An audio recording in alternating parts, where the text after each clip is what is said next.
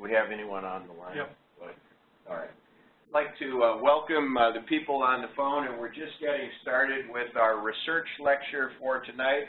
And our first speaker tonight is Dr. Kristen Fussell. I'll tell you a little bit about Dr. Fussell's background as she comes up to get set up.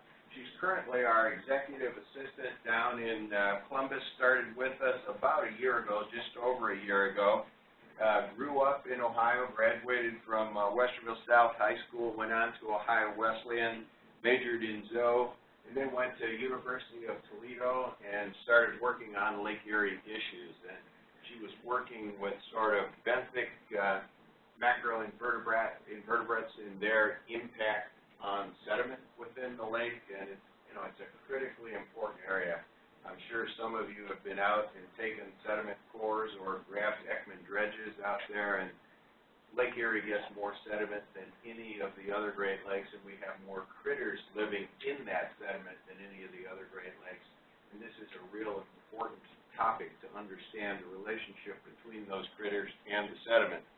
Uh, got her master's in ecology and then went on to get her PhD looking at the interactions between mayflies and zebra and quagga mussels, mussels the dreissenids, and that's what she's going to be talking to us about today. But before she came to us, and after graduating with a PhD from University of Toledo, she spent two, uh, three years working for Stu Ludsin in the Aquatic Ecology Lab at Ohio State as a postdoc. And there she was looking at sort of the, the biological and physical interactions in Lake Erie on larval walleye and what determines year class strength within walleye, working for three years on that. Uh, we were incredibly pleased when we were able to attract her and get her to come to uh, Stone Laboratory and Sea Grant. And so, Dr. Fussell, uh, we're real pleased. As you start tonight, would you uh, tell the students a little, how did you make decisions, say, coming out of high school as far as picking your schools? Uh, again, you made the mistake of not going to Ohio State, but decided, so how, and how'd you pick majors and things like that? Okay, so um, before I, I start my talk, I will do just that. Well, I guess I, I graduated high school knowing I enjoy sciences. That was pretty much it. I, I wanted to major in something that had to do with science, and I really liked organisms, so I knew I liked things larger than a cell or something like that. So I wanted to work with organisms. Um, I went to Ohio Wesleyan because I was really interested in um, their programs with the Columbus Zoo. So I thought, well, maybe a zookeeper would be a, a good career. And I was also interested in veterinary medicine. So I kind of went back and forth. I worked at a, um, a veterinary hospital through undergrad. And I also did a short internship um, at the Columbus Zoo, so I was a gorilla keeper for a summer. Um, so I, I kind of tested things out, and, and nothing was feeling right. Um, and then the summer between my junior and senior year of undergrad, I um, got a summer scholarship to do research with a professor at Ohio Wesleyan um, on aquatic pond ecosystems, and I was hooked, and that was it. So um, then the summer after I graduated, I went up to Michigan State's biological station and worked as a, a technician for the summer up there. And then um, kind of took a year off applying to graduate school, and, and that's how it happened. So I did I did not enter undergrad knowing what I wanted to do.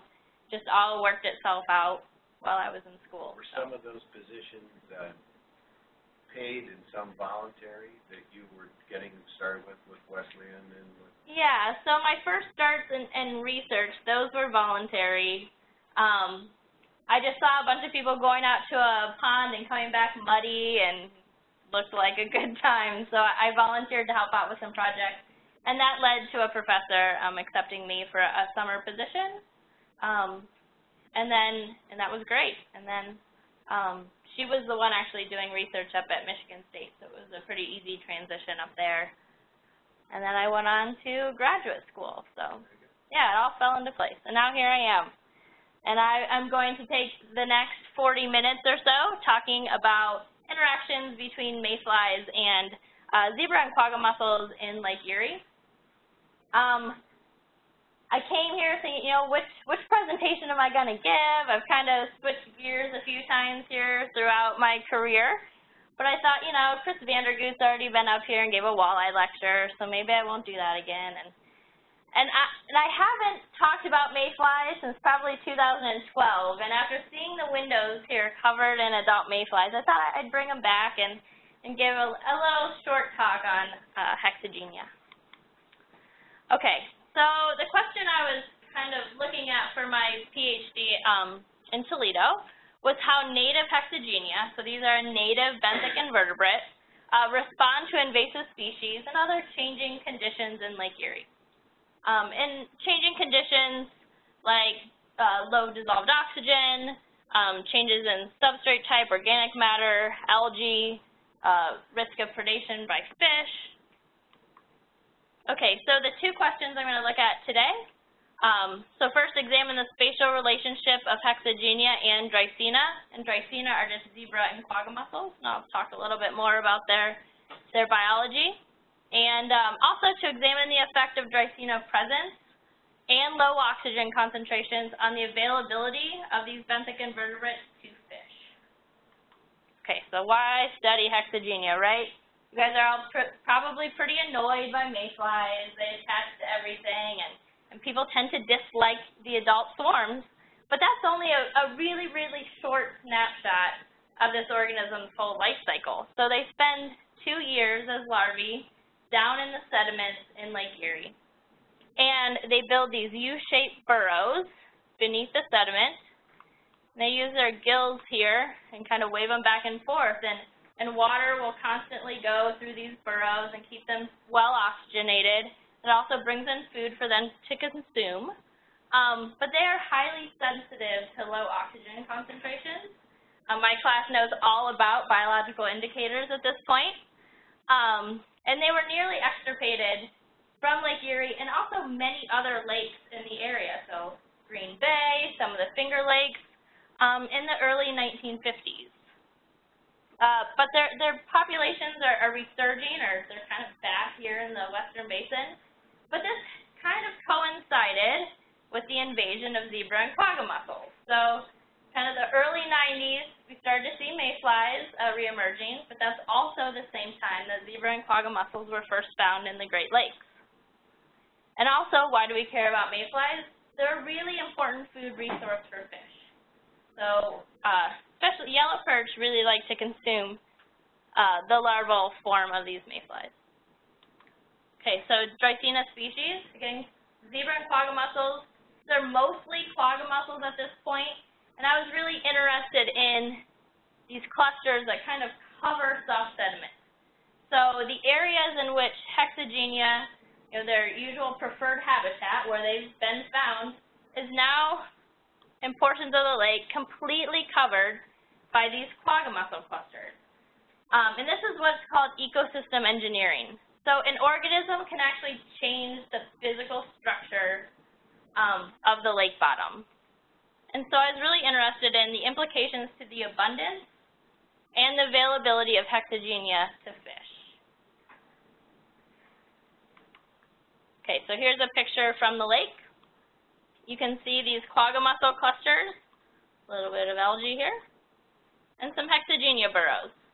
So these organisms live within fairly close proximity of one another. And just a kind of um, a sidetrack, funny story about how I came up with this. So I know a lot of people enter grad school and they're like, how am I ever going to think of what to study? It's going to be really hard. Um, this kind of just happened um, Ken Krieger, who works at Heidelberg uh, with Laura Johnson, came to the Lake Erie Center. I was doing a master's project looking at some benthic invertebrates, but not this specifically. Um, he came and gave a talk and and just casually mentioned, yeah, Dreissena, they have negative impacts on mayflies. You know, they they cover the preferred habitat of mayflies, so there's obviously these negative impacts.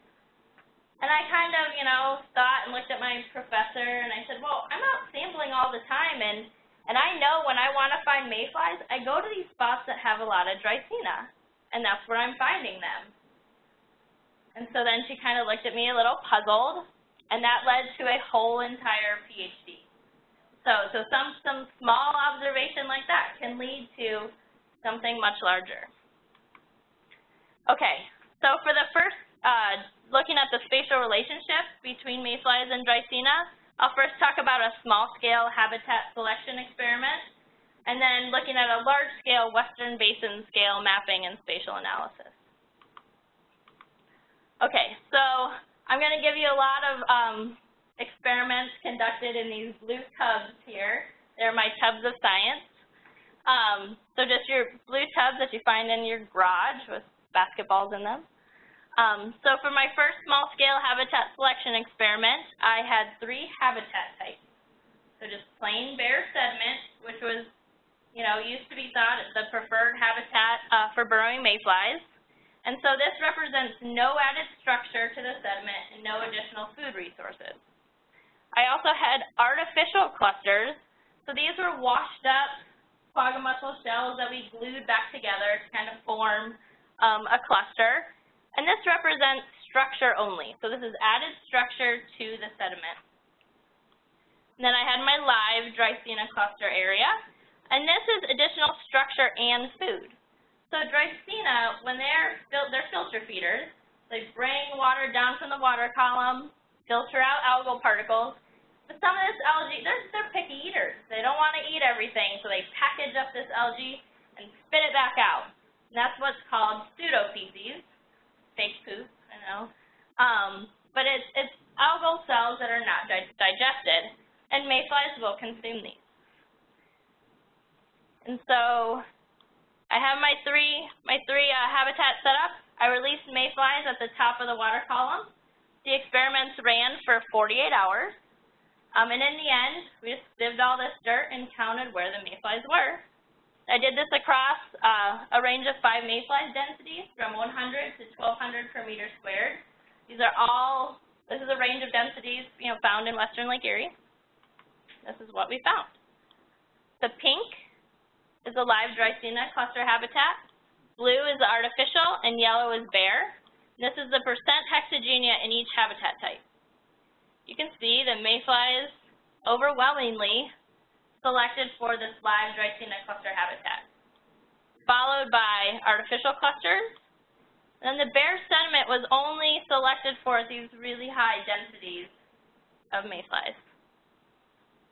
Okay, so that was the first, and we're like, okay, maybe we're on to something here, right? But then we moved to this large-scale mapping and spatial analysis. I used survey data collected by Don Schloesser at the USGS Great Lakes Science Center in Ann Arbor. Um, and I mapped the average density of hexagenia and Dreissena at each site. Um, I used data from 1999 through 2009, about 25 sites per year in western Lake Erie. And here's a map of all the, the sample sites that were used. And here we are. Okay, so yes, this graph is really messy, but I'm going to highlight some stuff. So here is just every site graphed across all years. Um, so each point represents an individual, site in an individual year. And what you see is that when Dreissena are absent, so hex, whoops, that's not the pointer. Hexagenia are here on the y-axis, Dreissena per meter squared on the x-axis, and when Dreissena are absent, the mayflies have a really wide range of densities. Okay, so they can just be not present, all the way up to, you know, over 2,000 per meter squared. So really wide range of density, and the mean density is about 384 per meter squared. When Dreissena are present, um, the hexagenia do not reach these really high densities, and their mean density is around 270 per meter squared. And this is actually within the uh, density that's rated excellent based on the Lake Erie Index of Biotic Integrity. So in conclusion, at the small scale, hexagenia select for live Dreissena, but at the large scale, we do find more hexagenia when Dreissena are absent, although this is highly variable. Uh, but what we found is that hexagenia presence is positively related to Dreissena presence. but hexagenia density is not related to Dreissena density. And the way I like to explain this is if you're sending your friend out to sample mayflies in western Lake Erie, if they want to find a lot of mayflies, odds are probably better to go to a site that does not have zebra or. Okay, so they may end up with no mayflies, but they may get one of these sites that have 2,000 per meter squared. So you're more likely to find a site that has a lot of mayflies. However, if your friend just wants to see a mayfly, they just want to, to touch one and, and observe what one mayfly looks like, odds are probably better to go to a site with Dreissena because their presence is positively related to Dreissena presence. Okay, so now we have the spatial relationship. Um, we're going to move on to examining the effects of Dreissena presence and low oxygen concentrations on how available these um, mayflies are to fish. So how easy is it for a fish predator to consume mayflies? I'm going to talk about two experiments, um, one being a fish foraging experiment and the other looking more at hypoxia, or low oxygen. Okay, so again, mayflies are a very important food resource for fish, um, and this is because they're very large compared to other benthic prey. So here's a picture of a mayfly next to a chironomid, another commonly consumed benthic invertebrate. And my students in my class should be able to identify these and tell you the order after, um, after this lecture. But as you can see, the mayflies are much, much larger than this chironomid right here, right? So I like to refer to them as like the Big Mac of Lake Erie. When fish can find these invertebrates, it's a lot of bang for their buck. There's a high caloric content in this mayfly versus this tiny little chironomid. So they don't have to eat as many of these um, to fill their bellies. So they're very, very important. Okay, so two questions that we kind of looked at in this fish foraging experiment. First of all, do Dreissena clusters reduce fish predation on mayflies? So a lot of this research um, was initially done looking at amphipods in zebra mussel clusters. And a lot of people were finding that fish had a, had a harder time consuming amphipods in these clusters rather than outside on the bare sediment. And I know some of that initial research was conducted here at Stone Lab by Maria Gonzalez. Um, but I hypothesized that Dreissena clusters would decrease the consumption of hexagenia by fish. Um, and then I also looked at if this effect is altered based on the fish's feeding style. So hypothesizing that a generalist feeder, such as yellow perch, would experience more reduced consumption or have more difficulty consuming hexagenia than a strictly benthic feeder that's already feeding on these, such as a round goby. So kind of thinking that maybe since round gobies are already consuming Dreissena and rooting around in the sediment for food, maybe this spatial relationship would actually benefit round gobies because they may find some extra food. So to do this, I initially set out, again, with my blue tubs of science. Um, I had tubs with just bare sediment, and I was thinking, okay, well, I'll just add mayflies to these and let my fish forage, right? Then I had some, some sediment that I covered with quagga mussels. That was my Dreissena-covered sediment. But what happened was that I end up with this. So mayflies are also an ecosystem engineer, they're what we call bioturbators. So they build these U-shaped burrows and they're, they're flushing water through their burrow. And at the same time, they're kicking up sediment. So they make the water extremely turbid at the sediment-water interface. So if you dive down in Lake Erie, you can actually see this. Okay, so now I have turbid water with bare sediment and clear water with Dreissena, and I've now just um, have two variables that I've changed, so I, I need to fix this, right? So I added a Dreissena-covered sediment turbid water treatment where I constantly pumped in turbid water at a rate um, in which the zebra mussels could not filter them out. So again, I have things filtering water, making this really clear, and I have organisms making these tanks really turbid. Um, I did everything I could to try to come up with a bare sediment clear water treatment, but mayflies, they're good at what they do, so I could not clear that water. I spent a whole summer trying to do that, actually. Things you do in grad school. Okay, so here are my three treatments. I did this for both uh, yellow perch and round gobies. Uh, added one fish per tank. I knew the number of mayflies that I added to the tank. I let the fish feed for 24 hours. And then after that period, removed all the sediment and counted the number of mayflies remaining. This is what I found. So here we have graphed the number of mayflies consumed in a 24-hour period. And here are my treatments, and here are the pictures um, of the different treatments. And what we found was that yellow perch consumption of hexagenia was not affected between these two treatments, so when the light levels varied. However, yellow perch consumption of hexagenia decreased with Dreissena only in this turbid condition. So Dreissena-covered sediment and turbid water decreased the amount of mayflies that yellow perch could consume. On to round gobies. Same graph, number of mayflies consumed in 24 hours. Again, round goby consumption of mayflies was not affected when light levels varied. However, similarly, uh, consumption decreased in this turbid water Dreissena-covered sediment treatment. So in conclusion, for that experiment, uh, Dreissena-covered sediment did lower consumption. However, this is only the case in turbid conditions, for example, the western basin of Lake Erie.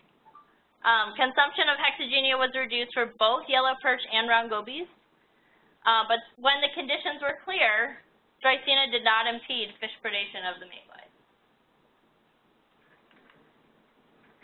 On to my hypoxia experiment. So the question uh, we posed was what are the effects of hypoxia on the habitat preference of um, hexagenia? So zebra mussels, as we all know, oops, consume oxygen. The studies have shown that some of this water in these interstitial spaces can be quite low um, when you get a, a dense cluster of mussels. So we had hypothesized that hexagenia would avoid these clusters during low oxygen conditions and that they would leave their burrows more often in hypoxic conditions compared to normoxic, or high oxygen. Um, to do this experiment, we used um, what I call my hexagenia behavioral arenas. and really, these are just ant farms that we uh, constructed that were just wide enough to fit an oxygen probe. And um, so that we could see where the mayflies burrow. So the same idea as an ant farm, but for mayflies. Um, to do this, uh, we had three habitat types again, my live Dreissena, artificial clusters, and bare sediment. We conducted all pairwise comparisons of these uh, habitat types. For treatments, we had uh, treatments with fish present. So I would kind of shove a yellow perch in this uh, in my behavioral arenas for the fish present treatment, and then we had treatments without fish. Um, and then we had high oxygen versus hypoxia. So all um, treatments had both high oxygen conditions, and then hypoxia was imposed at 24 hours. So just to walk you through some of these, what this graph will look like, I'm graphing the proportion of hexagenia in each habitat type so initial hour zero, six hexagenia were added to the tank. So we would just observe where they initially chose to start to burrow. come in a day later and observe where the hexagenia are located um, in reference to these two habitat treatments. And then we would bubble in nitrogen and lower the oxygen to less than 30% saturation and observe again the mayflies for, for 15 minutes after that. So our observation immediately following hypoxia. And then we let these the hypoxia go for about three hours, um, and then took an observation after three hours of hypoxia. And so I know the western basin is not the central basin. It doesn't stratify. We don't get this area of really, really low oxygen. But it stratification can set up and the amount of water beneath that thermocline is so small that low oxygen conditions do happen in the western basin of Lake Erie, and they can happen very quickly. Now, the next storm that, that rolls through will definitely mix it up, but this does happen.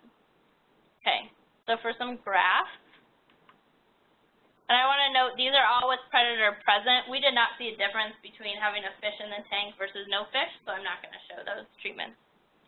But what I have graphed here is through time, so from the initial high oxygen, the 24 hours post, hypoxia onset, and then three hours of hypoxia, the proportion of mayflies in each habitat, the green is the bare sediment, yellow is live, and this purple color is the artificial clusters. And so again, the hexagenia selected for the structured habitat. In these treatments, there were no differences between the live and the artificial clusters, but they did, overall, regardless of oxygen, they were most often found in this structured habitat. Um, so again, through time, this is the proportion of hexagenia out of their burrow in each habitat. So this is the pr proportion of mayflies that came out of the burrow um, for each of these time periods. Again, initially, most of them were burrowed. Um, then during hypoxia, the number of hexagenia out of their burrow increased with hypoxia duration. So the longer this low oxygen concentration continued, the more mayflies came out of their burrow. Also, fewer hexagenia came out of their burrow in the bare habitat. So in the bare sediment, less mayflies came out of their burrow more mayflies came out of the burrow in the live and artificial. But when we talk about coming out of their burrow, this just meant that they, like I said, came out of their burrow. But in these structured habitat types, that doesn't mean that they were outside of some sort of structure and fully available for fish predation. So here's a picture of a mayfly. Came out of its burrow, but it's still wedged really well in that cluster. So it's, again, not really exposed to the, the water column. Here's a mayfly out of its burrow, just wedged between that, the sediment and the bottom of the cluster. We actually found a lot of mayflies like this regardless of oxygen concentration. So some of the mayflies in this habitat didn't even make U-shaped burrows. They just hung out right beneath the cluster. And here's one that's actually above the cluster and exposed. So in conclusion for that, um, hexagenia selected for structure um, covered sediment. There was no difference between the live and artificial Dreissena at this scale. Um, they came out of their burrows during hypoxia. And again, this is a very short period of hypoxia. This is only three hours. Um, if I let it go much longer, the mayflies did not fare too well, so, so we had to keep it short. Um, they did this more often in the structured habitat, and they tended to stay in the bare sediment uh, longer. And the presence of the predator really had a minimal effect on, on mayfly behavior. So what's that mean for the food web? Um, Dreissena colonized sediment, it may reduce the flow of this benthic energy source to fish in western Lake Erie uh, due to its high turbidity. Um, Dreissena presence may provide refuge for hexagenia during short-term hypoxia. And it's this really interesting behavioral trade-off between low oxygen and fish predation. So hexagenia are very sensitive to these low oxygen concentrations. Uh, they tend to die if they're, they're in these uh, conditions for very long. However, a mayfly out of its burrow is likely fish food.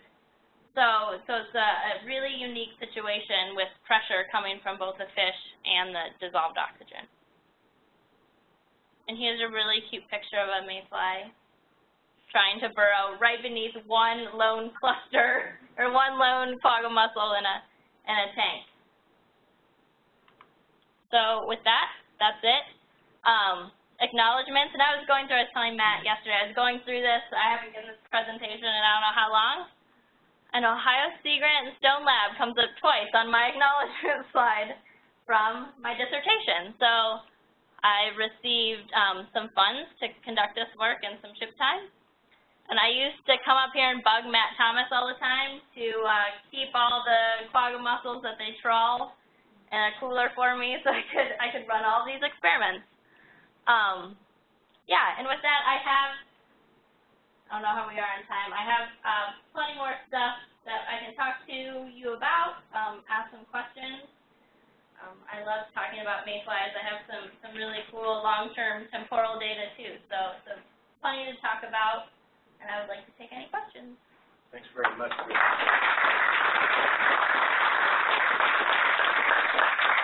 Questions for uh, Dr. Fussell?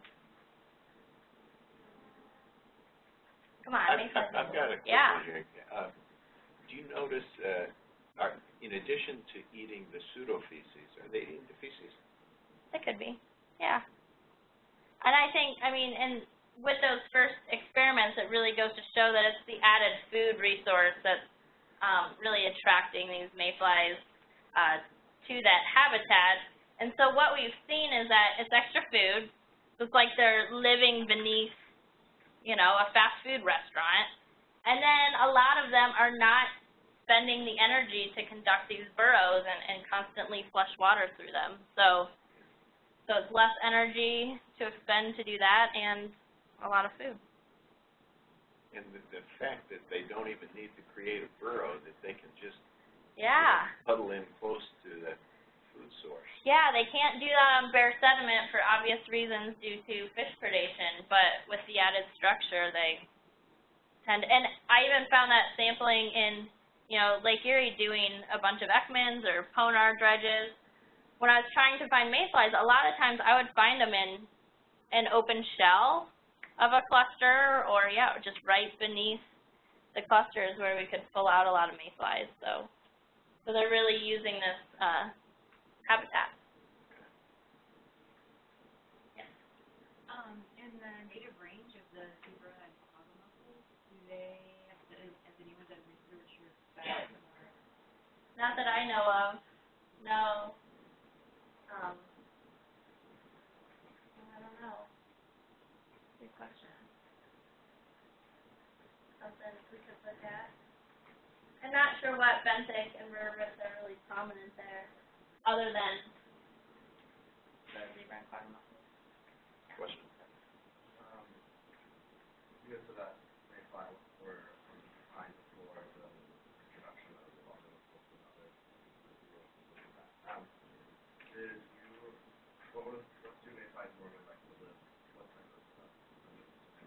So Would you, would usually. you repeat that for people online? Yeah, so the question was, um, what's the kind of preferred sediment type for for mayflies, and and they were yeah they were on the decline prior to zebra mussels, um, and now have kind of make a made a resurgence.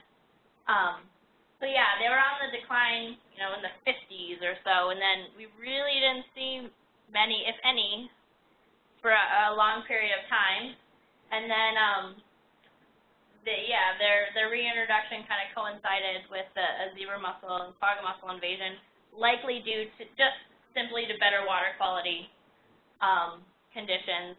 But their preferred habitat is usually thought to be, you know, soft, silty sediments, um, soft enough that they can burrow in, but not so silty that the burrow will collapse. Um, so I actually have, let's see, maybe not. Um, I actually looked at, okay, so, um, we tend to find this is high concentrations of mayflies. This is hexagenia density and categories. Um, you tend to find them, you know, at this given percent silt. So um, they have a lower percent silt. So it's thought to be um, not as, as so fine that the burrows will. So, and then they're also found in areas with high organic matter in the, in the sediment for food purposes.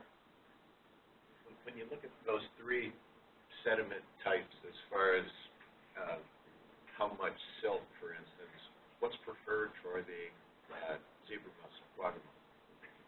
I find them everywhere. No preference. No, so it's really wherever I mean, there has to be some sort of, usually they, they'll start with some sort of larger particle, whether it's a, a small pebble or a rock or, or some hard, small, hard object in the soft sediment, and then they just go from there, building a cluster off of one another and just kind of across the sediment. So we've found them in a range of, of sediment types. The only thing is when it's really silty or in areas where, um, you know, there's a lot of sediment at the sediment-water interface, it can really interfere with their filter feeding. So their filters can get clogged, um, and so they'll tend to not do well in that habitat. All right, so I'm wondering if the, uh, the fact that the hexagenia can get in close to the zebra mussels and the expansion of zebra mussels, now the hexagenia can move into softer substrate. Yeah, that's a possibility. So, yeah. So in your hexagenia ant farm, you said you put fish in there with them. Did you see the fish like actively consuming some of your hexagenia? And no, we had a, a barrier between them. So, um, it had, you know, it was a mesh barrier so that the water could, could actively move through the water column, but we did not want the fish to actually eat the mayflies in that experiment. But think we have changed the results?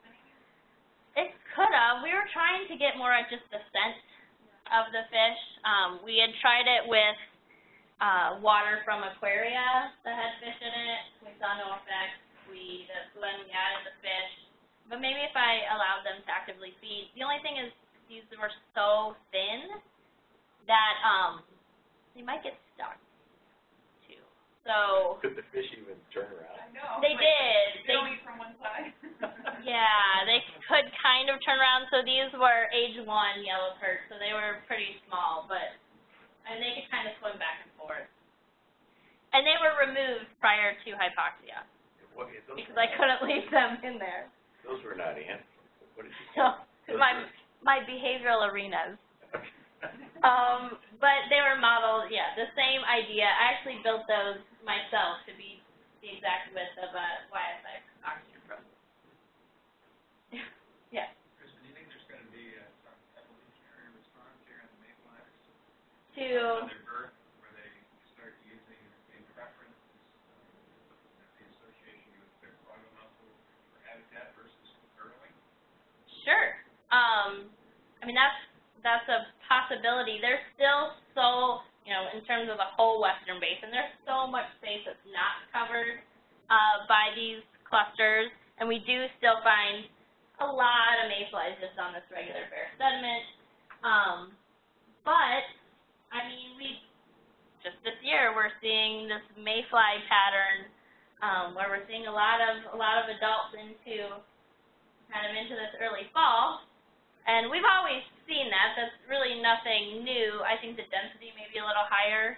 Um, and usually these are mayflies that only live about a year in the lake. So the ones that come out in the fall are usually ones that just grow big enough, have enough energy that they can emerge prior to the winter season. And we're seeing more of that. So something to watch out for.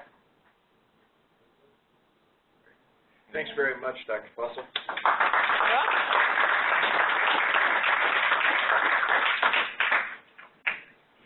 I think we'll uh, go right into our guest speaker tonight. Uh, I think we're uh, very fortunate to uh, be able to get the Director of Ohio EPA to uh, come in and speak to us, and, and this is an incredibly uh, busy time in that this harmful algal bloom is over top of water intakes, and tomorrow morning he will be visiting two water treatment plants uh, with his staff, helping those people uh, understand how to remove the toxin and produce safe drinking water.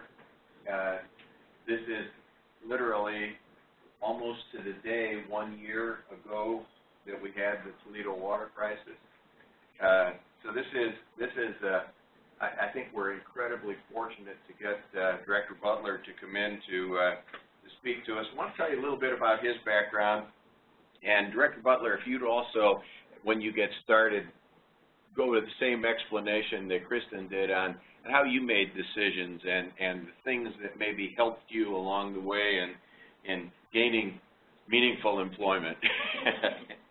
uh, started at, uh, grew up in Pennsylvania, started at Mansfield University in Pennsylvania and majored in geography and environmental science.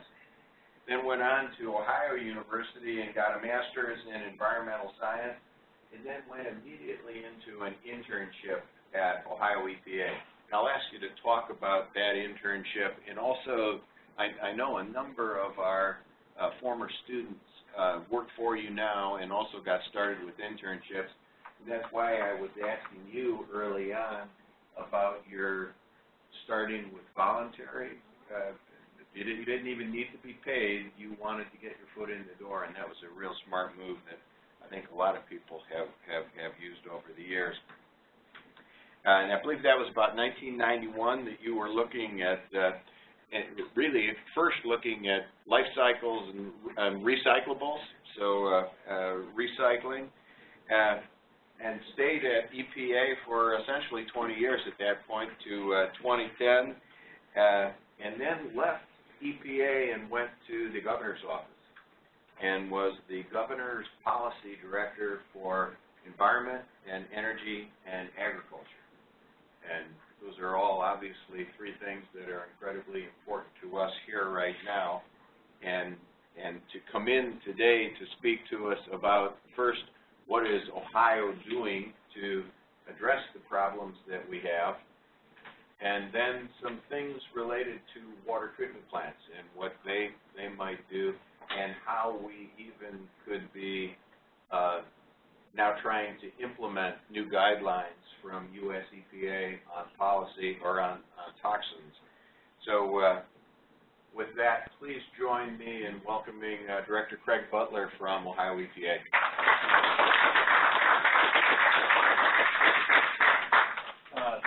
Dr. Reutter, thank you. It's great to be back.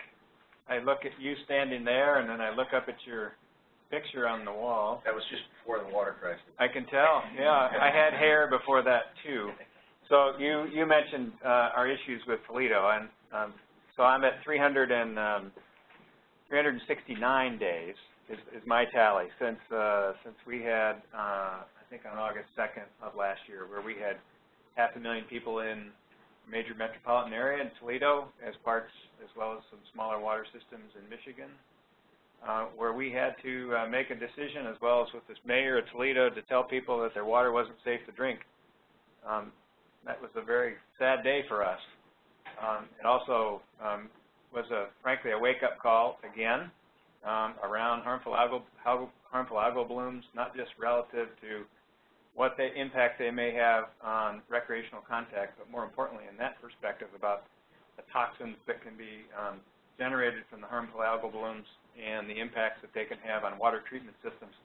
In some cases, their inability to treat for those toxins. So we have been looking at um, this issue for many years, and I will take you through a, a, progression of things that we have been working on since 2010, mostly in the policy arena. So I'm going to shift you completely away from Dr. Fussell had talked about kind of the scientific basic research around um, micro, macroinvertebrates, which is really important and a lot of fun to, to see to see that. I had more questions to ask you that I'll probably ask you later on, but it's just really my inability to understand more than anything else. So I'm going to shift you away and give you a sense of what, what I do on a, almost a daily basis working with policy leaders in the state, elected officials, legislators, mayors, the governor, uh, on taking basic research that is done in organizations like here at Sea Grant in Ohio State, at, at Heidelberg, um, at University of Toledo, at Bowling Green, um, and in lots of other universities, um, and take that base information. Um, we call it adaptive management. You'll hear me talk about it from the policy perspective too, how we take use adaptive management on the policy side to take the best science that we've got uh, and make the best policy decisions we can um, about how we impact um, human humans' lives as well as allocate scarce resources, both human resources and economic resources. My background, as Jeff wanted me to tell you a, lot, a little about it because um, I had no idea what I wanted to do. Maybe that's a common trait. Maybe some of you all, since you're here, and most of you in high school, right? Is that, is that right? Some, yeah, most of you are in high school. Uh, the fact that you're actually here taking college classes in the sciences probably is a pretty good indication that they knew more, Kristen, than probably you and I did at that time in our lives about what we wanted to do with our lives. uh, I, I use this over and over again.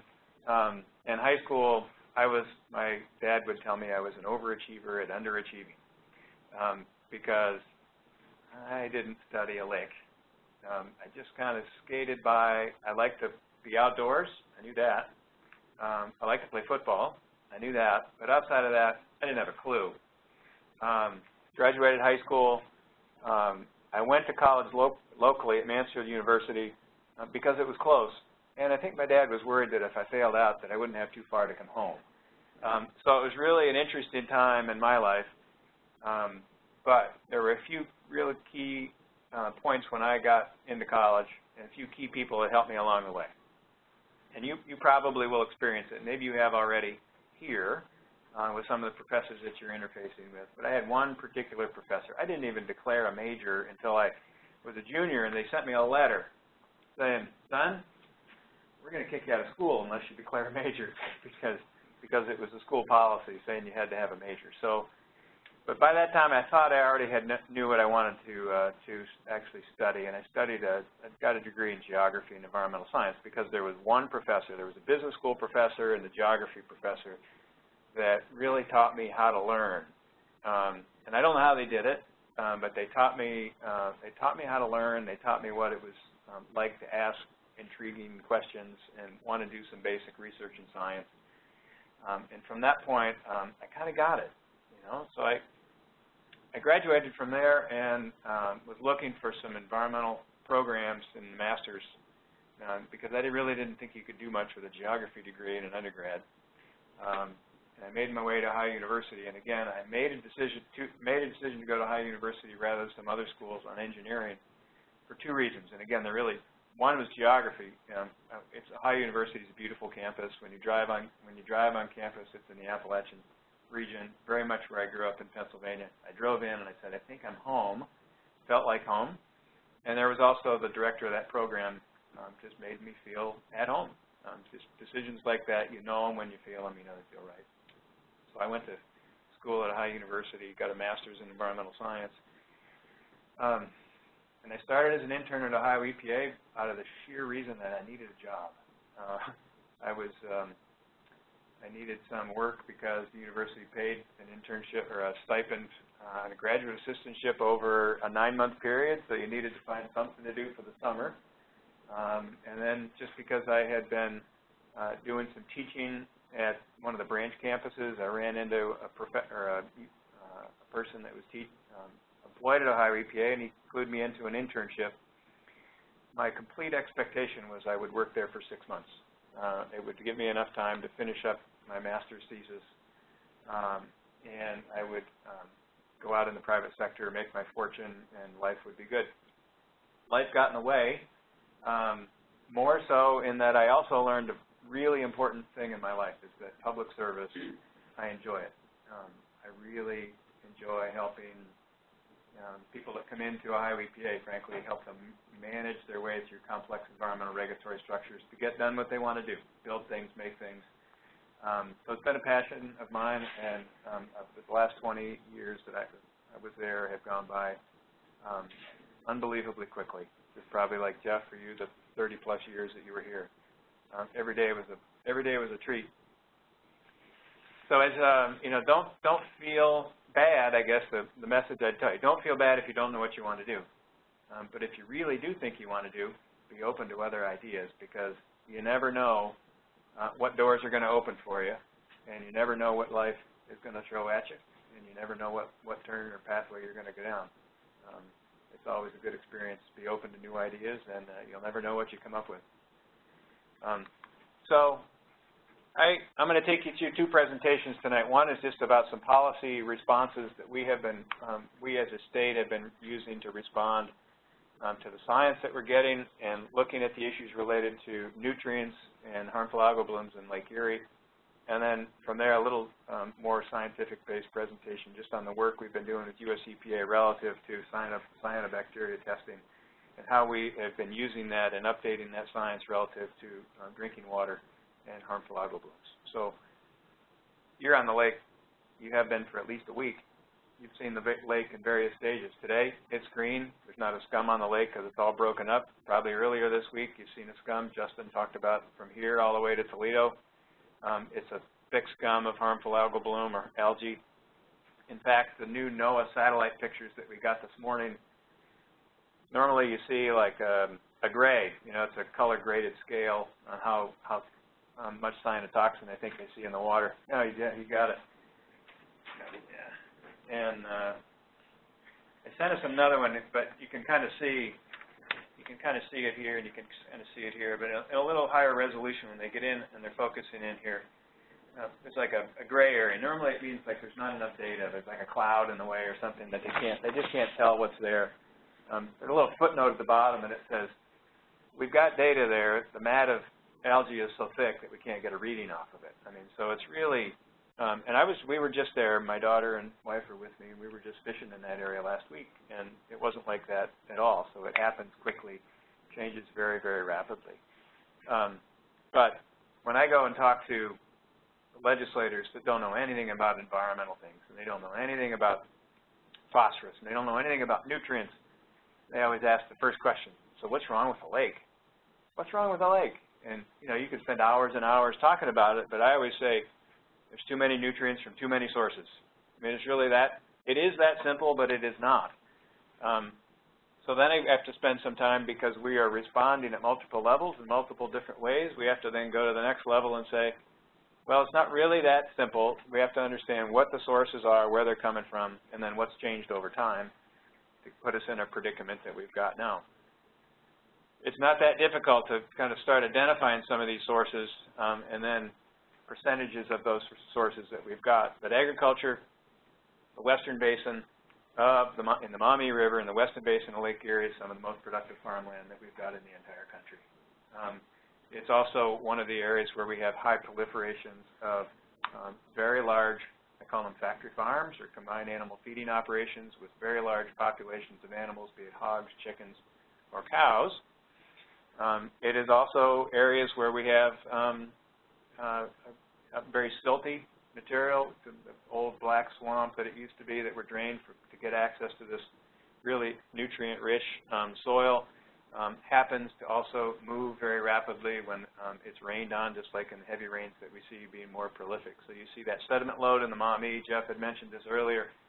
Maumee River, um, I think it's true, Jeff, is that right, that the Maumee River sediment load is more than all of the other tributaries in to the Great Lake combined, or at least Lake Erie combined. Definitely Lake Definitely Erie. Lake yeah. Erie combined. So, um, and here's a here's a interesting testament to that. So we dredge a lot of the navigation channels to keep them open.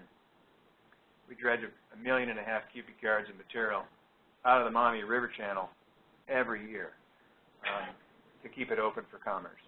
And that's about a third of all of the material we dredge out of eight of our federal navigational channels total. So just that fact alone um, gives you an indication that it's a different material um, uh, in, the, in the resource. So agriculture plays a huge fact, huge part in this. Both agricultural practices have changed, um, the types of agriculture that they're doing, the, um, the intense agriculture that we've got. Um, they know they're a part of this problem. Um, they're implementing some things to, make it uh, to make it better. I think they need to do some additional work, but but ultimately they seem to be um, recognizing that they are not a source, but the major source of nutrients in in phosphorus in the western basin. Wastewater treatment plants, combined sewer overflows. All of our wastewater treatment plants now have phosphorus limits, uh, really low phosphorus limits of a part per million or less, um, discharging into into Lake Erie. Um, combined sewer overflows is the issue we've got where it seems like mostly in the Midwest for the past 50 years, engineers had always designed wastewater treatment systems to combine storm sewers and residential septic sewers. Um, and then they said, well, we'll just build really big treatment plants to process all of that. And then they found out it was way too expensive um, and that decoupling those was something that we needed to do. And when you get really heavy rains, you can't can't bring all that flow into the plant.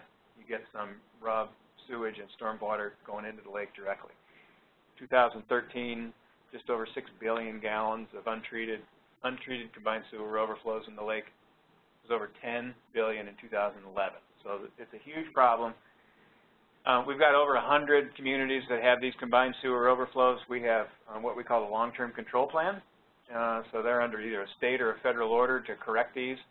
They can cost anywhere anywhere from a few hundred thousands dollars for a really small community to a community like Toledo, over a billion. Um, Cleveland, three and a half. Columbus, five billion dollars. So we put them on very lengthy schedules so that they don't have to um, ask their residents to pay um, a bill that they aren't able to pay in terms of combined sewer overflows. So some of them are on schedules that could be as long as 30 years um, to implement combined sewer overflow management. And I'm going to talk a little more about how we're trying to accelerate that um, to start treating some of that. Home sewage is another issue for us. You would think it really wouldn't be that big a deal, but um, soils in Ohio, in Ohio tend not to be great for on-lot septic systems. Um, they just don't last that long. 15 years probably is a good time frame on how long they tend to last, and then they fail. You get rid of the biological treatment, and you have um, discharge of those nutrients into the waterways as well. Our estimates with the health department suggest it's about a it would take about $2 billion of investment for us to go in and fix all the failing septic systems um, in, in the Western Basin.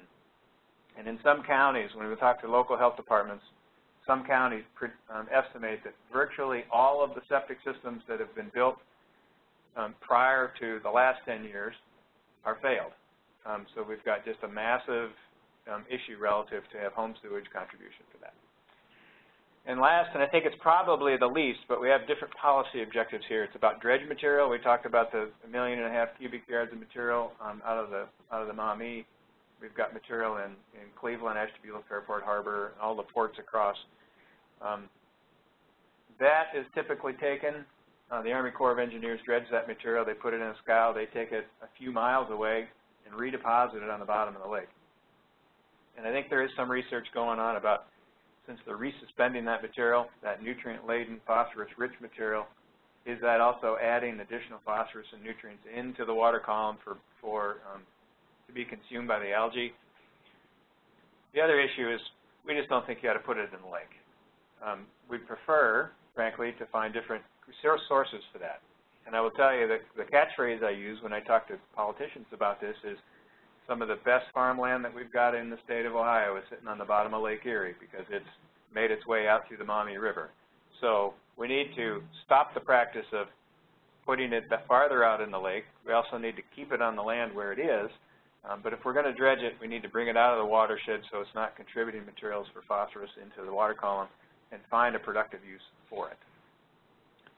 So I will not talk a lot about this next, but there's a lot has also changed in in the method of delivery of nutrients, but also this issue of dissolved reactive phosphorus that's getting a lot of attention from Laura uh, Johnson at Heidelberg and just the issues and all the research going on to figure out what has changed in the environment. It used to be farmers would bank phosphorus. They would, they would say, I don't know how much, I, I'm not going to test my soil, but I've always put this much on and it, it could have been, it was generally an over-application, and the thought was phosphorus will bind to the soil particle. It will stay there until a plant comes along, takes it up, and uses it. That's not the case anymore. Um, well, that still is the case, but something else is happening there where you're seeing this phosphorus as this new dissolved uh, form of reactive phosphorus being able to flush its way out, and it's not just going to sit there. So you can't bank phosphorus the way you used to do that. So you all know, you also know this as well, but um, when we talk about nutrients, you got to make that crosswalk fairly quickly into this, which is what happens when you have too many nutrients. You know, one of those is we've got a lot of harmful algal blooms, or a lot of algae, which relating to harmful algal blooms. And we've been recognizing this, and we've been testing for HABs since 2008. And our first wake-up call um, across the state was algal blooms at Grand Lake St. Mary's. And I don't know, anybody know Grand Lake St. Mary's? Yeah, we got a few. We got a few. It's a canal lake um, in, um, in in the Western Basin, just on the edge of the Western Basin. These canal lakes are when and we had a series of canals that needed feeder ponds. they're really shallow, number one, kind of like the Western Basin, relative to its size. Um, they don't have a lot of uh, flow or exit flow going into them, so they tend to they tend to be a little bit stagnant. Grand Lake was heavily developed as well, so they had a lot of dead end channels. They had a lot of stagnant water.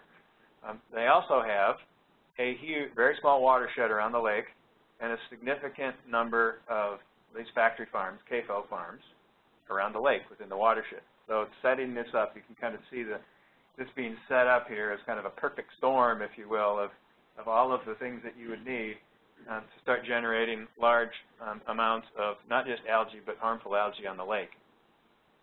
And we got that response, and we've had it before, but in 2010 was really the wake-up call when um, not only did we have a significant algal response, we saw people getting sick from being in contact with the water. Uh, recreational boaters. Um, the, the lake has always been green. Historically, Grand Lake has, has been green, but we started seeing people get sick, get a rash, um, have other impacts. We saw pet death, had pet deaths from the, from being just in contact with the water. Um, so, in fact, when Governor Kasich came into office, this was just shortly after he was elected, and it, this this issue became aware just a couple of months, frankly. And I was not director at the time, but I was working on his staff. Um, know, he basically sent me, our director of EPA at the time, director of natural resources, director of agriculture, before they even, frankly, had moved into their offices at the time to get to Grand Lake to start understanding what the problem was there and what were we going to do to fix it. We've got other lakes as well um, around the state, so it's not just in Lake Erie, but we've identified algae and harmful algae and microcystin um, in our other inland lakes and other sources of drinking water across the state. Um, so it seems to be uh, universal in most of our lakes. 2013 um, was a precursor for us to Toledo. Carroll Township is just east of Toledo. Um, very small water system, about 2,000 residents there, maybe 2,500 residents. Very small water treatment system. Frankly, they don't have much in the way other than just elementary treatment. They don't have any way to do advanced treatment for microcystin from the harmful algal blooms. Um, we detected that they had um, an, an, elevated uh, amount of microcystin in their finished drinking water, and it led to our first do not drink advisory, basically telling people they couldn't drink the water. Um, we were able to rectify that in two ways. One, they had some bottled water, but more importantly, they had an interconnection with the neighboring communities, so they were able to turn off their water treatment plant tap, bring water in, and we were able to manage it that way. And then we had Toledo. Um, Toledo doesn't have anything. They've got one of the most unique water systems I've ever, ever, ever seen for a major metropolitan area. They have one source of water, which is the lake. They have one intake, which is uh, three miles out in the lake. Um, and they don't have any interconnections with any other communities to provide them with backup water. They've got no up-ground storage. They've got no water towers. It's their only source of water. Um, so if they have a problem at their plant, um, it's going to be um, almost um, immediately felt by all of the residents. The other compounding factor in Toledo is it's a very, very old plant um, and had not seen upgrades or renovations for a very long time. Um, and it was not being run very effectively. So um, it took us several days to get their treatment plant re-optimized and get them back into a position where they could deliver um, healthy drinking water to the communities. But at that point, um, the damage had been done, so to speak. Um, and it left us to continue to, what's the solution? Again, what's the policy solution? So I talk about this a lot. It's the adaptive management which is the key. So whether it's in science um, or whether it is in safety, where you talk about um, uh, kind of the standard safety language is you plan, um, you do, and then you review, um, which is what we do in what you do in science and is what we do in the policy world too.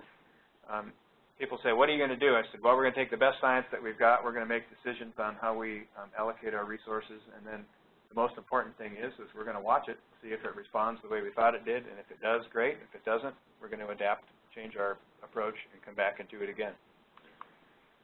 So um, one of those things that um, in response to Grand Lake, St. Mary's, and this need to find out what the science was telling us, uh, we brought together some really good scientists, including Dr. Reutter um, and others, um, to help us start understanding this issue of phosphorus.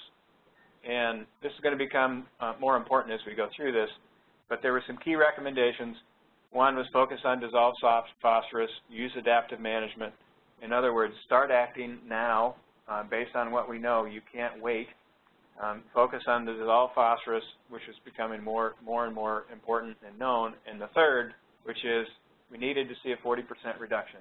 The 40% reduction was what the best science of the day told us to say if you have a 40% reduction in the amount of phosphorus going into Lake Erie from the western basin, you want to eliminate this problem, but you're more than likely to have to diminish the potential. And that's a key. Um, it's a key fact for us to remember. It's not going to eliminate this, um, and it, but it only gives us a fighting chance, as I say. And that you'll see that number come back again.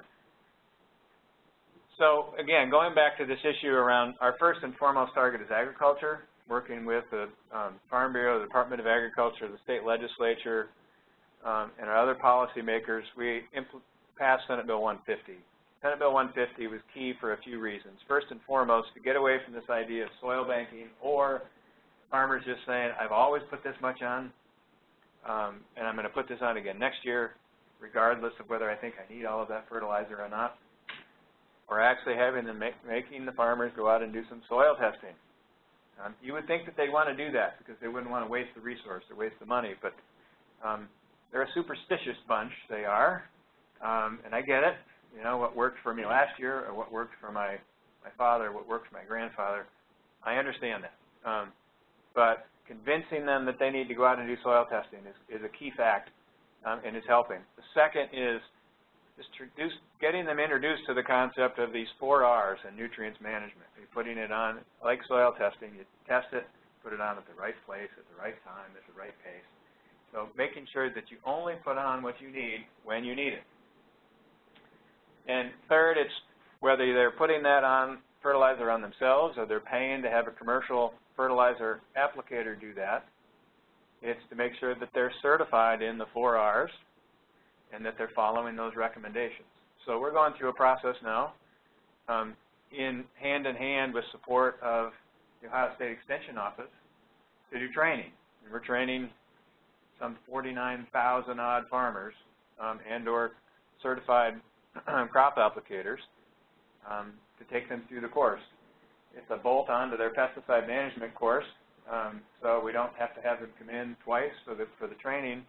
Um, and we think that um, from what we, some exit interviews, I guess you call them when we talk to them, they say, did you learn anything? And they say, you know, I actually forgot some things that I actually relearned um, or that they learned some things that they're now going to implement that we think is a good initial measure to see that they're starting to get it, which is helpful. So obviously, Toledo is a real a wake-up call for us again, and you know, we we immediately then started thinking that there's some real treatment options that we needed to make more widely available. Regular drinking water treatment typically doesn't, um, except for chlorine, um, and retention time of chlorine in, in the finished drinking water. Regular drinking water treatment doesn't really do much to the microcystin, and the variants of microcystin. So we needed to we needed to make some funding available to all of our water systems. So we immediately made 150 million dollars available, and we made $100 million to our wastewater plants to have them upgrade their treatments for harmful algal blooms and reduce phosphorus into the western basin. We made $50 million available for our drinking water plants um, so that they could add more um, generally treatment for microcystin or other variants of that. And, um, and it's generally adding powder activated carbon treatment and some other applications. Um, we're going to make that, that same amount of money again available next year because we had a really high demand for that. Um, but we're going to continue um, targeting money in those areas to help them treat their drinking water and or reduce their nutrient loads from our wastewater plants. We also help, got some help from the federal EPA um, to, again, work with uh, the agriculture industry to put some of these newer practices in the ground, like controlled drainage structures. field tiles are prolific in northwest Ohio. Field tiles are frankly the only reason you can do a lot of agriculture and farming in northwest Ohio. My analogy to maybe some, some folks um, is like field tiles are like a hypodermic. Um, they take the water out the fields and just inject it into the waterways.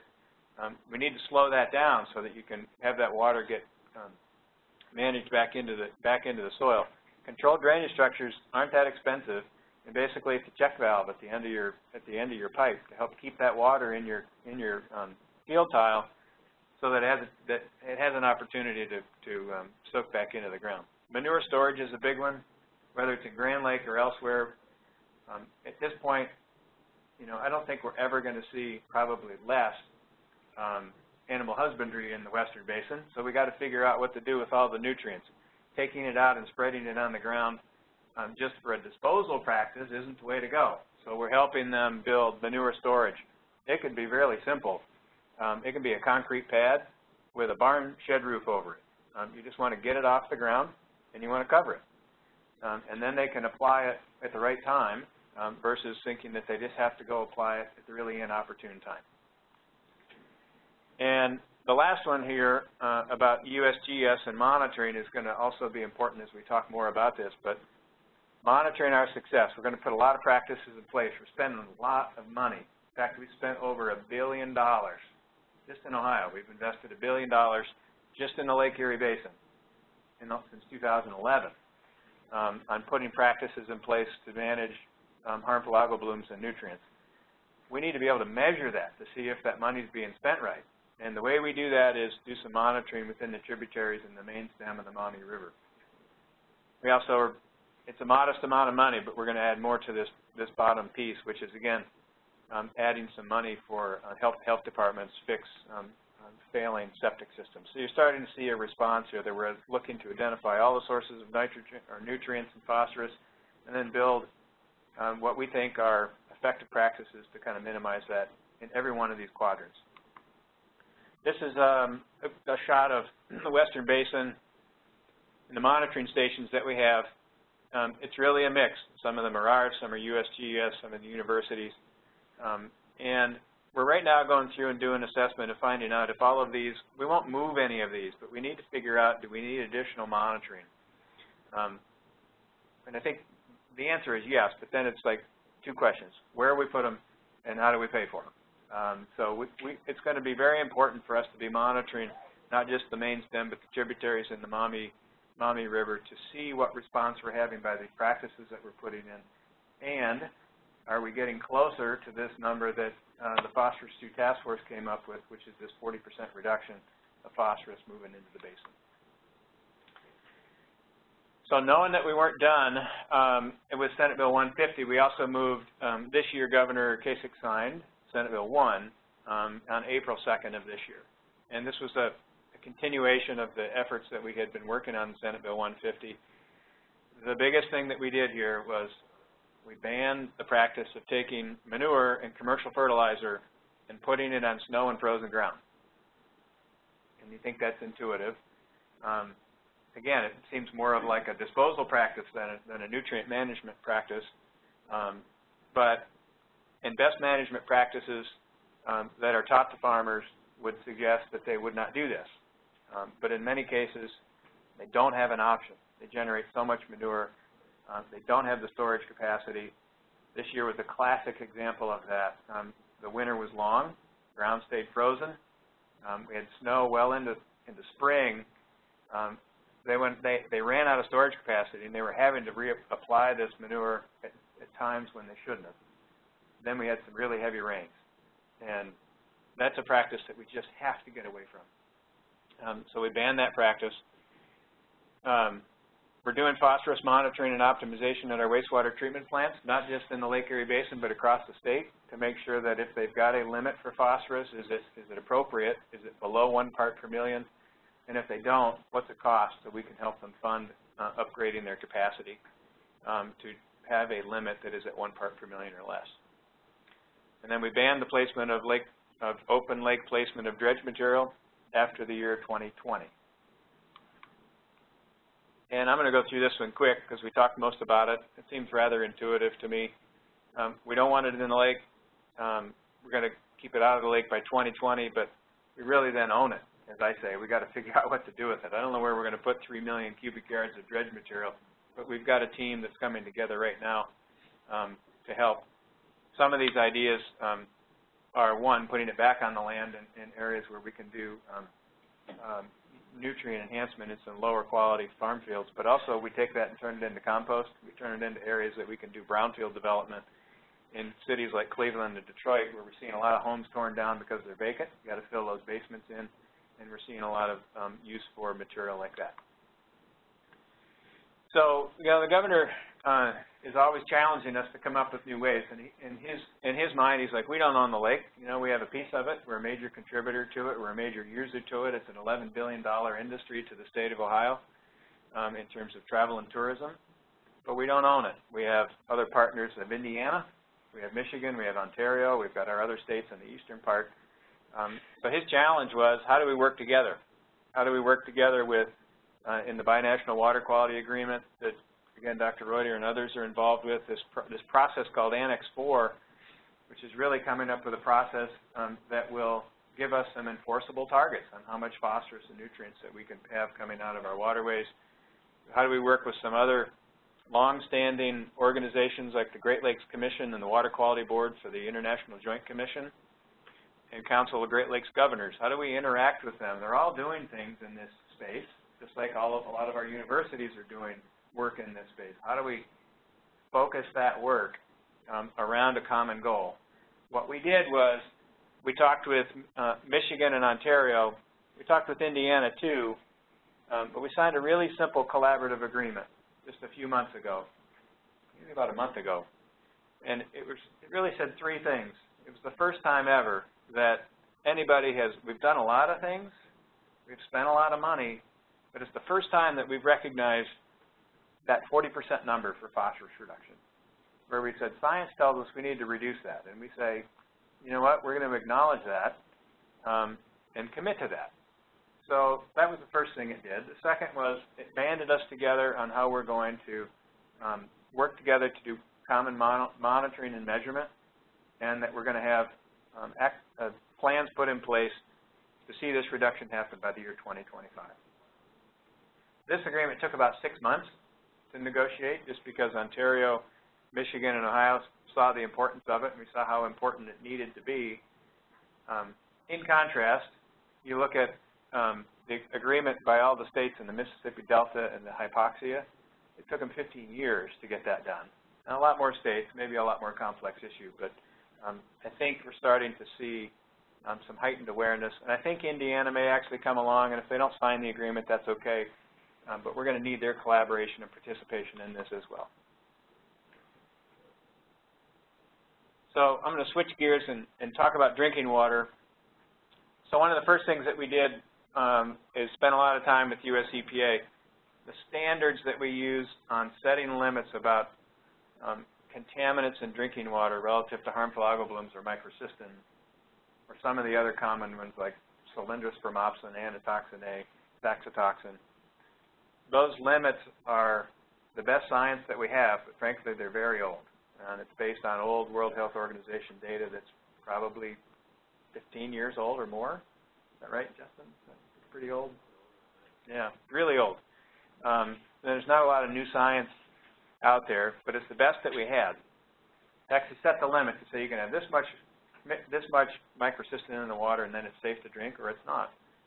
Um, we, re we recognize that when the when the day came that we had to tell Toledo that their drinking water wasn't safe, we had a strategy put in place that said if you get to a certain limit, you got to tell people they can't drink the water. It's black and white. Um, but we also knew that that science was really old. We needed to update that.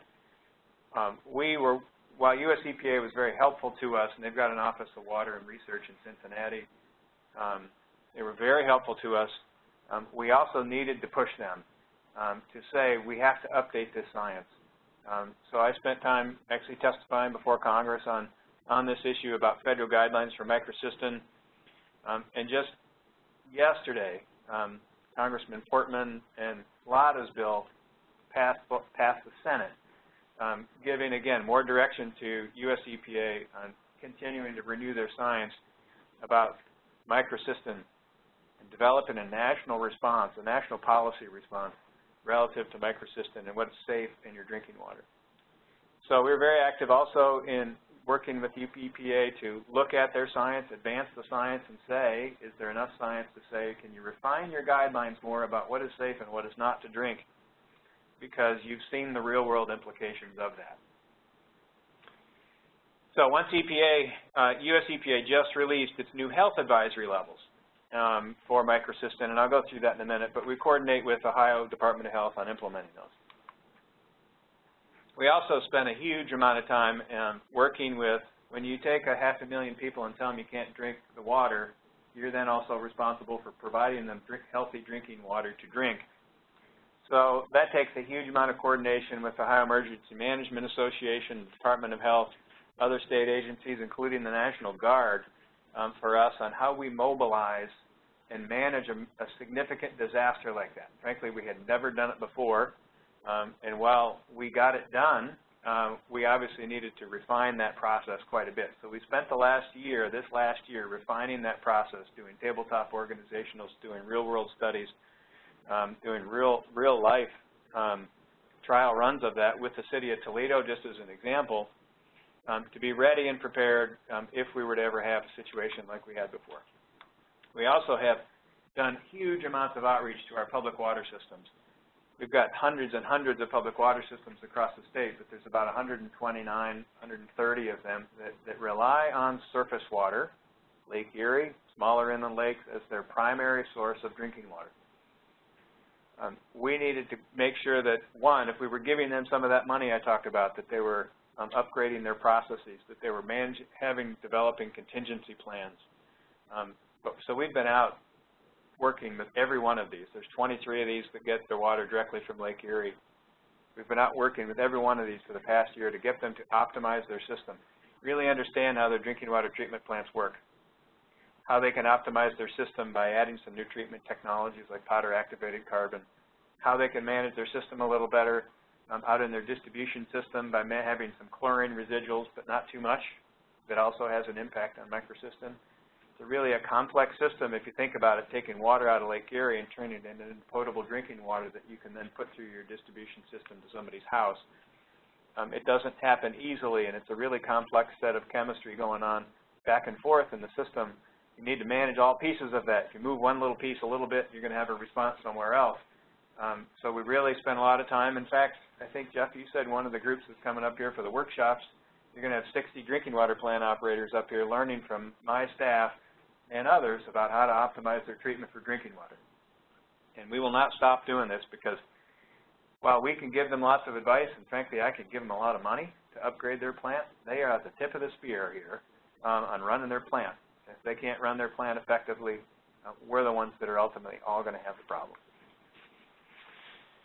Um, so I'll just leave you with a couple of thoughts. Yes, Lake Erie and our inland lakes have seasonal water crawler problems, and we don't have all the answers, and I don't know if we ever will, um, just because we'll always keep learning and adapting to what these new challenges are. Um, I am proud to say that this governor and this administration, this legislature, some may challenge this and say that it's not enough, but we're actually taking a lot of progressive steps, both legislatively, policy, and financially, get our arms around this. What is it?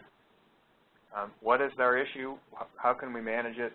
And then how do we ultimately fix this problem? The government can't do this alone, and we are needing all of our sectors engaged, including the private sector.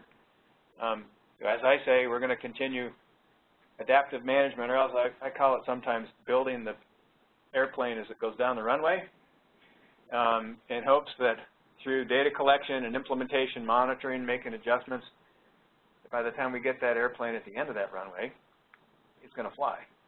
Um, and I think we're off to a pretty good start.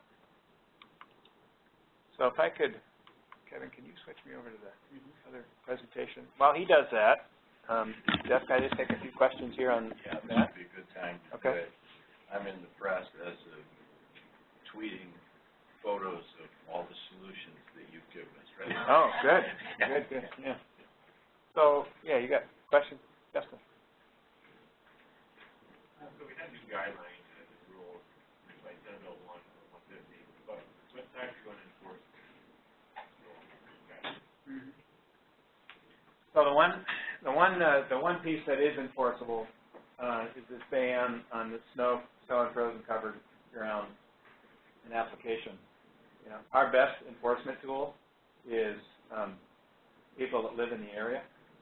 Um, we're right now also in the process of transferring, uh, that program out of the Department of Natural Resources over to the Department of Agriculture. Um, they already manage all of our CAFO efforts, big, large factory farms. Um, it's very confusing, didn't seem to make a lot of sense, but if you're a, a large animal feeding operation, agriculture operation, you went to the Department of Agriculture, as you can imagine, to get your permits. Um, but if you had a smaller farm and you, uh, you would go to the Department of Natural Resources through Soil and Water Conservation. We're- bringing them all together. Um, so the best, the best thing is always word of mouth. Um, that's our best enforcement tool. Um, but we've got any number of inspectors that we'll have to Ag, EPA, and DNR um, that will be out monitoring for these issues around snow and frozen cover ground. That's that's number one. Um, you know, we've got we've got a series of inspectors too that go out and as well as soil and water conservation um, officers um, through the soil and water conservation services that'll be out um, making sure that if we have if they're managing their manure properly, if they have manure storage, um, but largely, I'll tell you, it, it, it depends on the farmer doing the right thing and following best management practices. There is a continued call to say we need to do more work, and I'm not, I'm not saying that we don't, um, but there is discussion now to say we need more enforceable programs um, to make sure that the agriculture community um, is um, either through a permit process or through some other certification process um, actively um, managing this and that we have an enforcement mechanism to do it.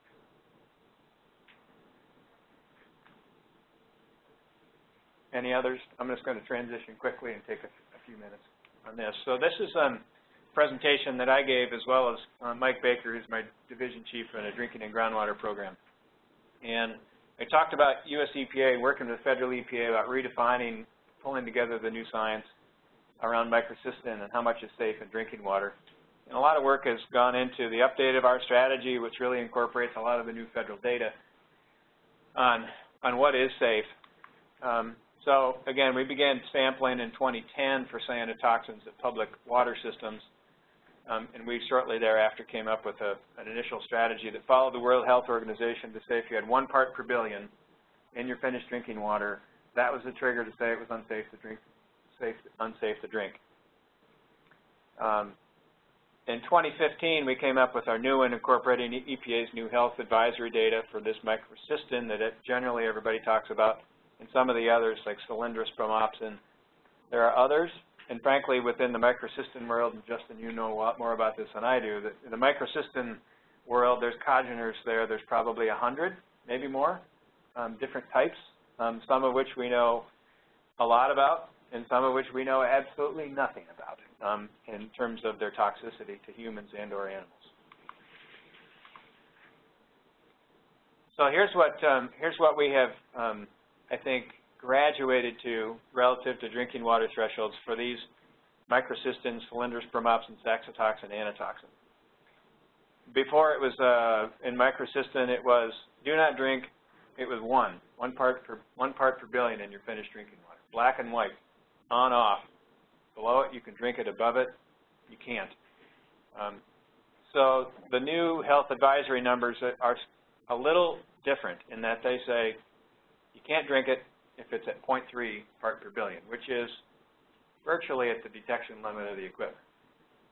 Um, but it's for children under six, and then we add, at the state of Ohio, we added in this sensitive population. We also have included nursing pregnant women, individuals with liver disease, or those on dialysis. Why? Generally because these, these toxins are, um, they will impact uh, liver function. So if you've already have a, um, a decreased liver function, um, we want you to not be drinking the water. Great. That's, Yes. That's, when you say we added state of Ohio, that's above and beyond what was recommended by. This. Yeah.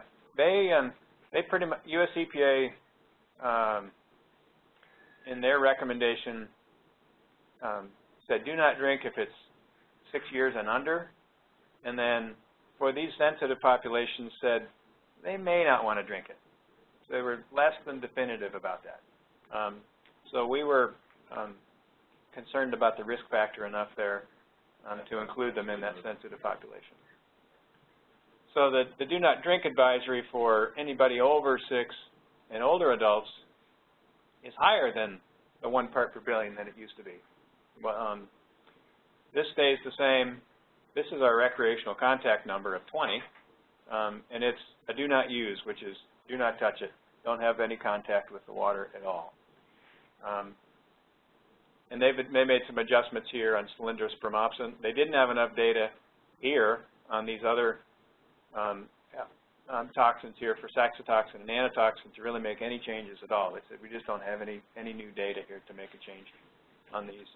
Um, but as you can also see, what they have done here is this is not a black and white number. Um, it may be at 0.3 or at 1.6, but they also said it's a 10-day standard. So if you're drinking water at these limits, you're safe to do that for up to 10 days. Um, before you would have to avoid drinking the water. So that's an important piece because I call it um, a do not drink advisory limit with a cushion.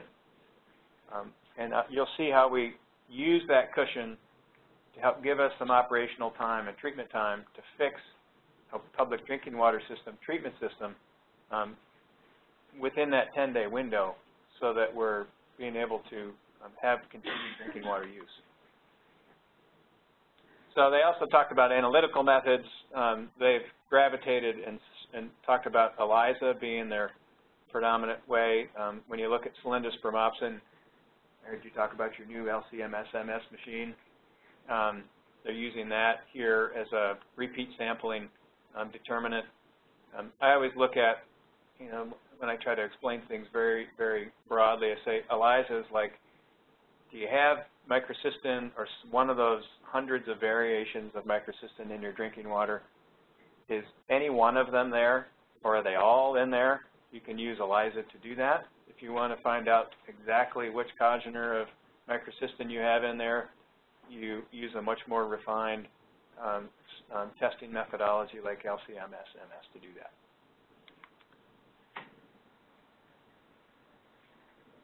So we took a, we take a lot of um, data into account, and here's another piece of data we use looking at, at the NOAA, but we get public water systems uh, doing their weekly phytoplankton monitoring. We have them go out and do weekly assessments of their, where they're getting their water from, if they're a surface water system. We get bloom reports from third parties. We look at remote sensing data. We got some data. We got some data. We got this data. We picked up the phone and we called both Ottawa County and Toledo and said, make sure your systems are running properly. Um, so we spend a lot of time just forecasting where we're going to be doing sampling, taking screening, taking a, um, a look at what the raw water quality is. And so the issue is we're going to go out and monitor data. We're going to collect and analyze samples um, when we see conditions like this. Um, we're going to say that we're asking our water systems to take samples every week be monitoring their system and taking samples every week. But if we're starting to see in the running tests and they're seeing microcystin in their raw water of this 5 um, micrograms per liter of parts per billion, in two consecutive samples, we're having them upgrade their sampling to three times a week so that we get more, more data to be working on.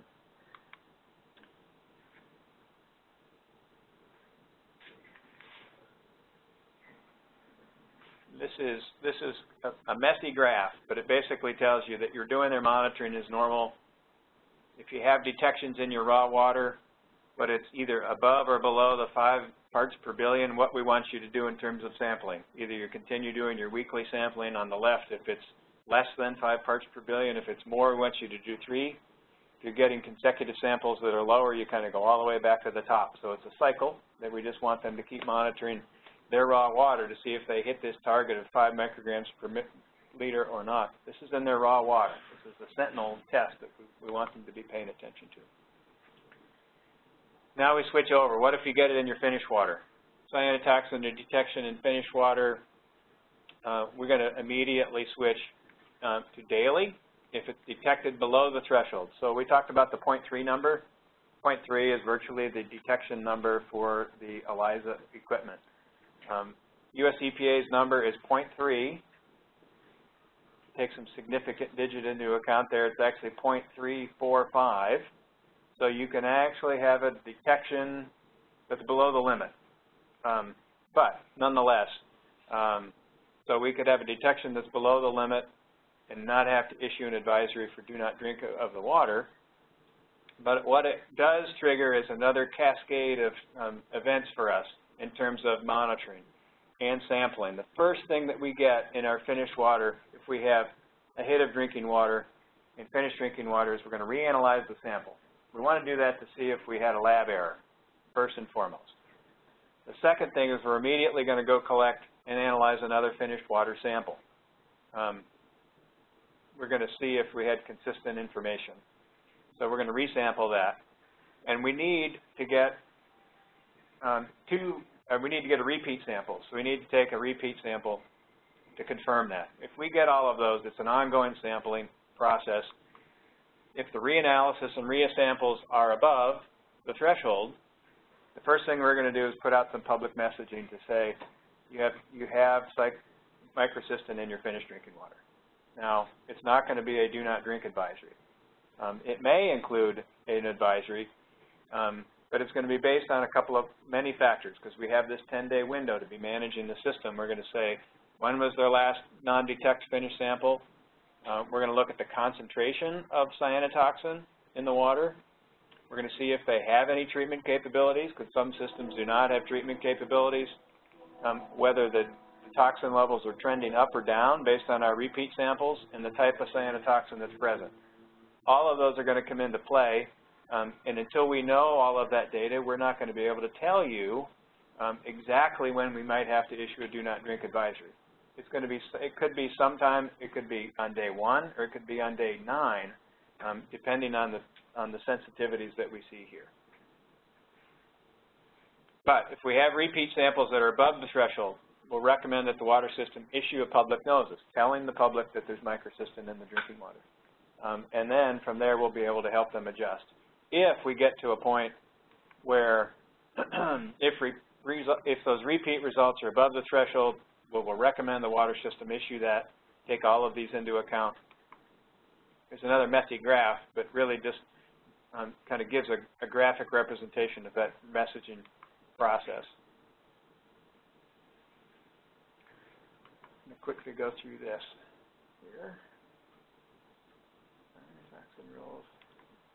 Yeah. So I guess the, that's a lot of um, a lot of graphs and talks about, but one thing, a couple of things that are important. Um, we're thankful to US EPA for working with us to come up with some of the re refining this science. Um, you saw what a catastrophic event event it is when you tell a half a million people, um, if not others, that they can't drink their water first and foremost, we want the data to be right so we can tell people that are safe. Um, we think that these new, these new values certainly advancing the science. We've adapted a process around it. It's not exactly clear-cut, as you can see, um, but we have been out talking with all the public drinking water um, operators that are going to be in here are probably going to see that presentation or something close to it. Um, they're going to get uh, a lot of site visits from us to help them run their systems appropriately. Um, and just a few weeks ago, when we had a heavy bloom around the uh, around the islands, um, we had our drinking water operators at Put in Bay and in the Kelleys Island drinking water plants for over 20 hours, just helping them optimize their systems and run and make sure they're providing safe drinking water. So this is a huge challenge for us. This is stretching our um, financial and, um, frankly, human resources um, significantly.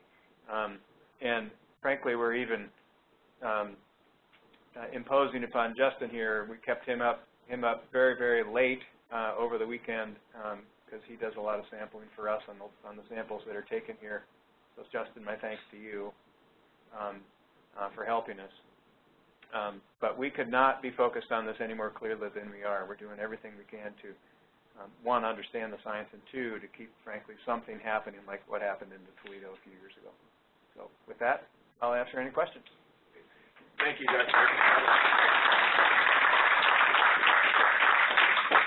questions for Director Butler? I've got a, a, a couple here on the, uh, uh, new guidelines. First, I think they're, they're really good, they're wonderful. Ultimately, are you issuing, you meaning Ohio EPA, are you issuing guidelines for what the water treatment plant should do? Or are you telling them they have to do that? Is- And, and when it comes to, if, if a do not drink order became necessary, is that issued by you or by the water treatment plant?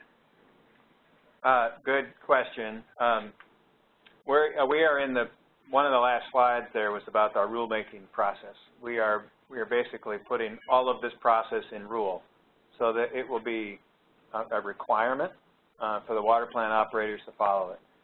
Um, we're engaging with them and, and working with them on these rules. We have told them, these are all guidelines, but you have to follow them because we're putting them in rule. And frankly, they want the help. So, in all fairness to them. In terms of issuing a do not drink advisory, um, I think we'd always follow the method we did with uh, Mayor Collins in Toledo. Um, I had to make the phone call to the mayor and say, you've got drinking cyanotoxin in your drinking water above this limit.